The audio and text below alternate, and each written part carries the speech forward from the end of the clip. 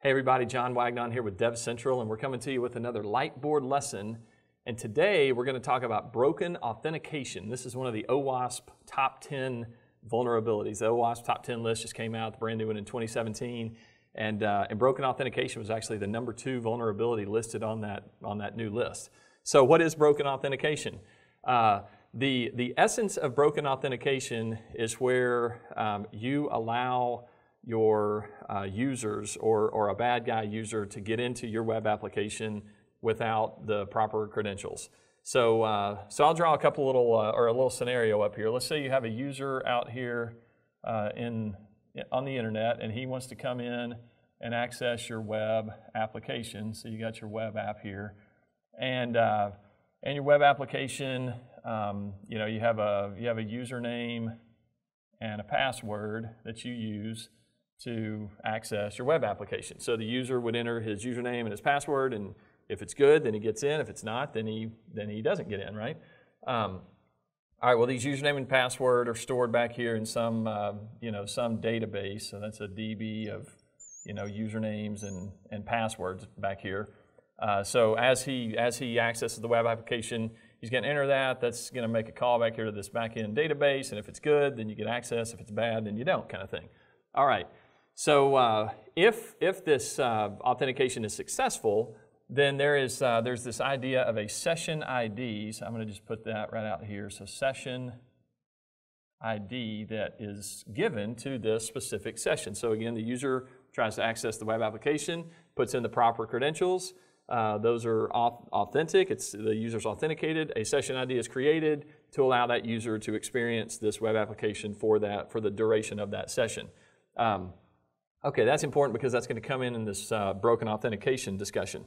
Um, what could happen here is if you have not built your web application properly, then, uh, then a bad guy could come in and do several nefarious things to try to get access into this web application.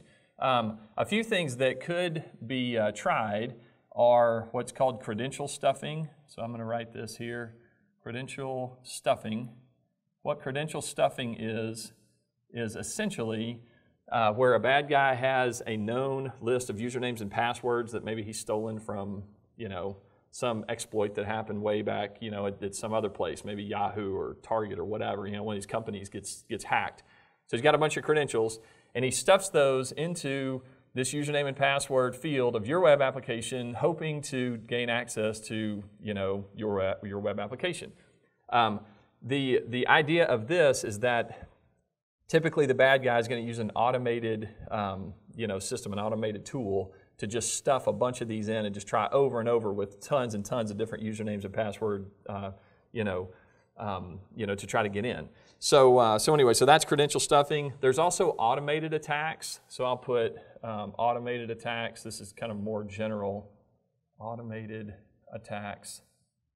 This is where maybe you would just use random usernames and passwords, not necessarily credential stuffing is where you have known usernames and passwords. This one would be maybe you just try random usernames and random passwords and you just start stuffing them into this uh, you know, username and password field in, your, in the web application. And if one of them takes, then, then you're golden, you're in, you're good to go.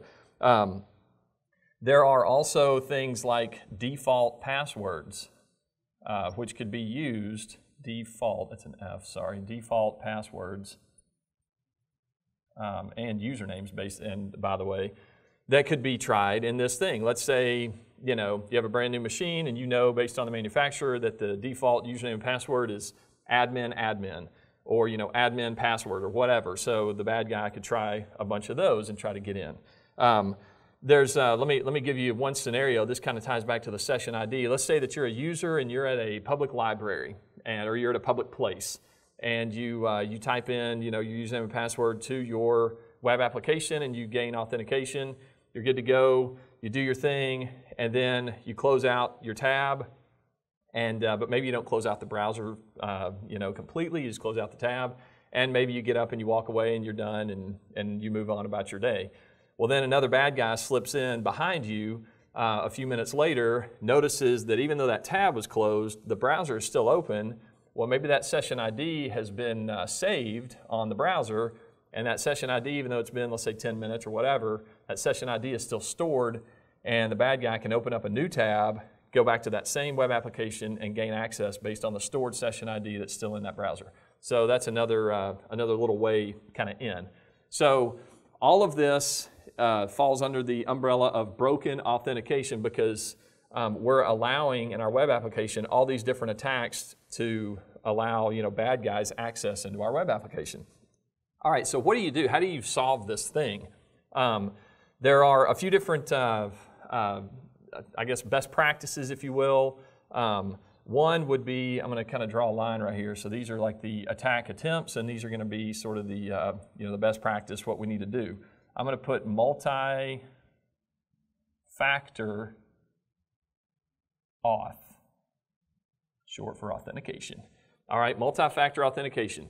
Uh, this is where you would use maybe a token, like a software token, or some kind of a you know token on your on your cell phone or whatever. Maybe use a, a you know uh, a thumbprint or a you know eye scan or a whatever. So you've got not just your username and password, but uh, but it's it's multi-factor. So you could use that. Um, also, password checking. So I'm going to put password checking and what this is, is a sort of a proactive approach where you, as the owner of the web application, could say, I'm going to go in with like the top 10,000 best known pass or, or, or you know, most commonly used passwords out there in the internet today.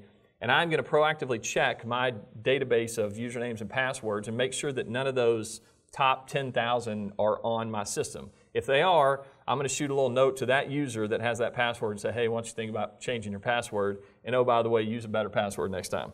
Uh, which brings us to another one, and that is password complexity. Password complexity.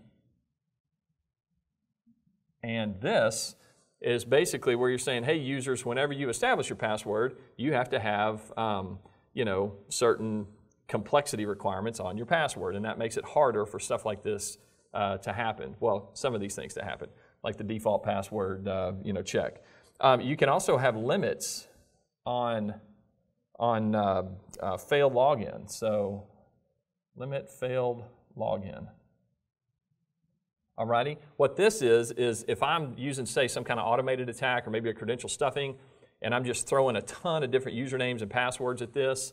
Um, then if I use the same username and I use a different, you know, I, I, try like say one or two or three passwords or whatever. After a certain number, then that ought to just say, hey, your your account is locked out now, and so you can't even get in until you send a note to the administrator and all that kind of stuff. Um, there's also uh, an idea that's uh, uh, called server-side um, session management.